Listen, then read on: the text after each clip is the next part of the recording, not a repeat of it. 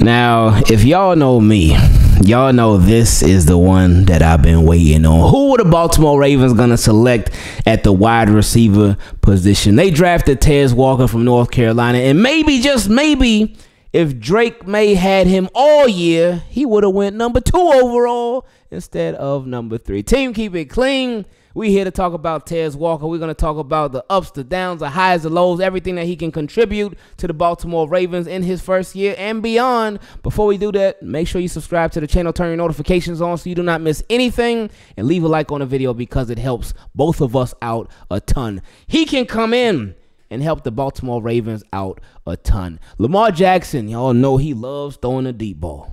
And Tez Walker, he loves catching the deep ball. With him, when you look at his average from every collegiate year that he's had, and that's been the past three years, the first two at Kent State, this last one at North Carolina, he is it's either big play or not. That's all he does is big plays. That's it. Because his average is just crazy high. Let, and let's take a look at it. So his first year, the numbers they're a little bit deceiving because he only had five catches, 124 yards. He averaged 24.8 yards per catch, but again, that's five catches, 124 yards. That's a tiny, that's less than a sample size. The following year, though, is a lot more realistic because he had 58 catches for 921 yards, and he averaged 15.9 yards per catch. So almost 16 yards per catch. Uh, and he had 11 touchdowns, too.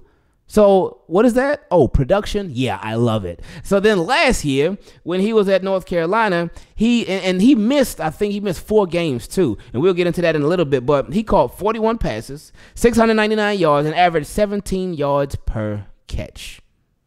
And he had a little seven touchdowns. Yeah, that that's good. That's actually great, especially for playing in. And he played in eight games, had almost 700 yards, had about 700 yards. He was one yard short and had seven touchdowns. Oh, I'll take that all day. I'll take that all day.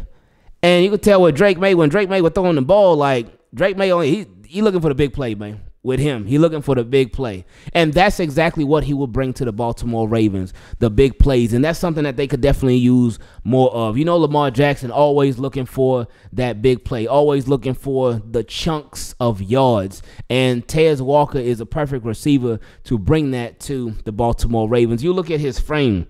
He's 6'3". They said he's 175 pounds. And when you look at him, he's tall, but he's a little skinny. I saw somebody say, oh, man, he ain't to last. He, he to end up getting hurt. I'm like, what? Have you, one, do you not know the rules of the NFL, how they benefit the wide receivers like crazy? But then on top of that, are we not familiar with DeVonta Smith?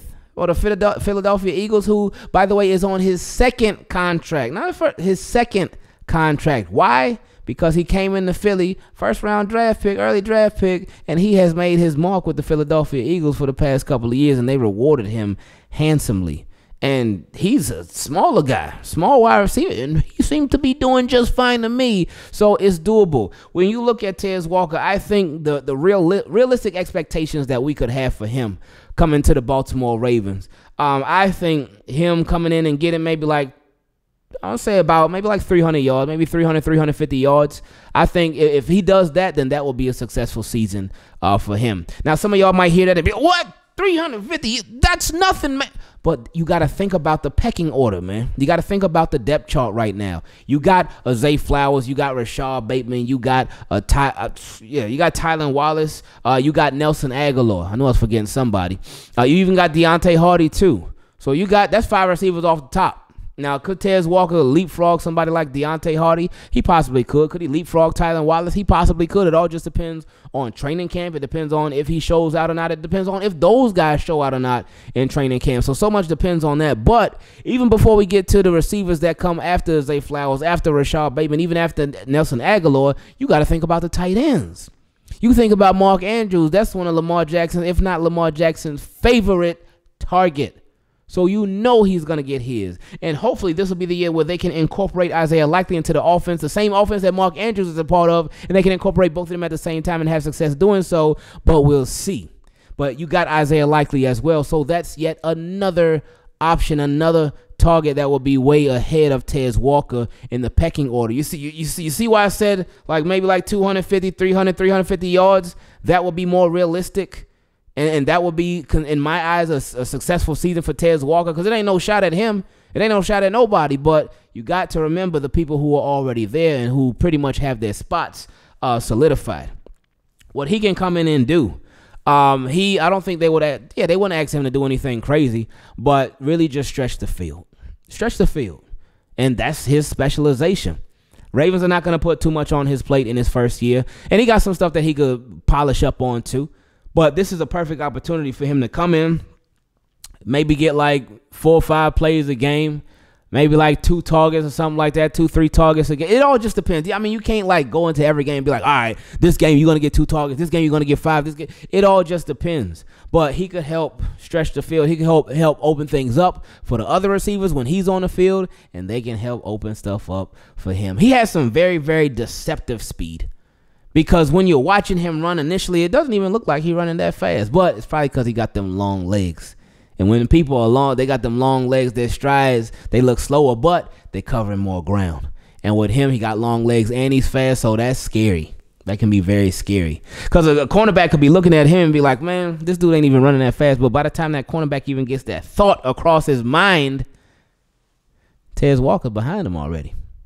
And that's exactly what we saw with Drake Maye to Tez Walker. We saw that connection. We saw, again, the deep ball. We saw he was so excellent at tracking the deep ball. That was probably my favorite part about him. How he tracked the deep ball, how he just tracks the ball, period, and also how them sideline catches, how he's he concentrates very much bringing that ball in bounds and getting both feet in. And that's something obviously in NFL. I mean, on a collegiate level too, you got to catch the ball in bounds, or else it don't count. So in the NFL, that will be greatly appreciated. And then him just going up for the jump ball too. Him using all six three of him and going up to get it. We could definitely use that with the ball. Oh, excuse me. Not definitely could use it. We will. Cause why? We got him. Now, um, with his frame, he ain't gonna be breaking no tackles. He ain't gonna be breaking no tackles, and that's that's fine. But that's just not in his game, at least not right now. In my opinion, I, I didn't really see him break tackles. Usually, when I saw that first man make contact with him, they nine times out of ten they ended up bringing him down. Um, but again, that's where the big plays come in. If he's behind you, then you bring him down. You might you might tackle him, cool, but he got like 20, 30 yard catch on you. So I mean, you got the tackle, but he got the big play. So that's what matters the most. Um, and again, that would be his specialty with the Ravens. Also, another thing about him, I just don't feel like he's very shifty. And that, with him being a taller receiver, a lot of tall receivers, they are not shifty like that. Usually it's the, the shorter guys, but he ain't like shaking nobody or nothing like that. Um, as far as route running, uh, I think he, he was a solid route runner. Nothing too crazy. Um, but again, just his specialty, in my in my opinion, was them go routes. Just go, go, go get it, go get the ball, go track. Hey, I'm gonna put it up there for you. You come down with it. Oh, okay, I got you. Cool, cool. That's that. So I like this pick. I like the selection. Um, apparently he went through some things, and shout out to my guy uh, Spencer Schultz for uh, bringing this out and highlighting this for us. Uh, a lot of the things that uh, Tez Walker has gone through. Uh, let's read it. He said, uh, Devontez Walker has faced a ton of adversity throughout his playing career. He had to sit out his freshman year because he tore his ACL in spring of his senior year of high school. That is terrible. That sucked. And that's like, that, that, that had to be like heartbreaking for him especially the timing. That that's the worst timing that you could possibly get. When I mean, injuries suck. Period. But then the timing of injuries, they can make whatever injury you have a million times worse. You look at Keith Mitchell last year, he got hurt at the end of last year. So now that could possibly affect him this year. This is the same thing. He got hurt at the end of his senior year in high school, and that messed up his freshman year of college. It says he stayed home his freshman year to be around his family and worked at Bojangles to pay for rehab. He was the primary caregiver for his grandmother in high school after she had multiple surgeries. That's a lot of pressure for a young man. And remember, you got to think like um, we as as men, just as people in general, not even just men, but as people in general, um, who are not playing football for a living, uh, who don't play college ball, whatnot. Uh, after high school, you might have gone to college or you might have just started working, but we tend to we mature differently than somebody who is a college football player and, and, they spend all their time just playing football, playing football, playing football because depending on their situation, uh, they may not get to experience life like like a normal life because they so dedicated to football and whatnot. So that's where all their time and their energy goes and whatnot. So they don't get to grow up like a regular kid or a regular person or whatnot. Um, so with him having all that responsibility, that's heavy. I mean, that's heavy on anybody's plate for sure. Uh, but especially somebody who may not have been out in the real world for too long like that. Um, but anyway, he said he committed to NC Central for the 2020 season, and they canceled their season due to COVID. Mm. It's tough. He rode the bench at Kent State for a year before finally breaking out in his second year there. He had a 100 yard game on seven catches against Georgia, uh, and that opened some eyes. He entered the transfer portal and chose UNC over Tennessee, over Penn State, and over other big name suitors to be close to his sick grandmother. Respect. Respect it for sure. Uh, it says he was ruled ineligible to begin the season at UNC in 2023 because of an outdated rule. Uh, he served as a scout team wide receiver until he was finally ruled el- uh, eligible. Uh, then he averaged 100 yards per game for the Tar Heels over seven games in 2023. That was last year, of course. Uh, so that uh, he said, mature and hard work are two of the things you'll hear about him time and time again. Aside from his explosive downfield ability and ball tracking. Okay, see, we we on the same page with that one for sure because again we see it. And again when he tracks the ball when he catching them deep ball it, he makes it look so easy. Makes it look like flawless almost. But anyway um he I this is fun. This is gonna be a fun pick man. This is gonna be a fun pick for the right here right now. Again I ain't expecting him to come in and, and go crazy with it from jump even though if he does we ain't gonna complain but he's somebody that the the, the contributions they will continue to increase year after year. With Nelson Agholor, Baltimore Ravens, they signed him to a uh, a one year deal, so he'll be a free agent after this season. Right now, um, he's sort of a placeholder for the Baltimore Ravens, and that's that's what my guy JT called. That was a, a, a beautiful term for Nelson Agholor. He's a placeholder for the Baltimore Ravens at wide receiver right now until they get some things figured out. Uh, you got Zay Flowers under contract for the next four years because you got three years and a fifth year option. Uh, you got Rashod Bateman under contract for uh, through the 2026 season, uh, so till 2027. Um, and now with Tez Walker, you got him under contract. Uh, well, when they officially signed, but he'll have a four year contract. So uh, you could think right, and we'll see. We'll see how stuff plays out. But Tylan Wallace, he is in the last year of his deal, I believe. Um, Deonte Harty, he's obviously on a one year deal.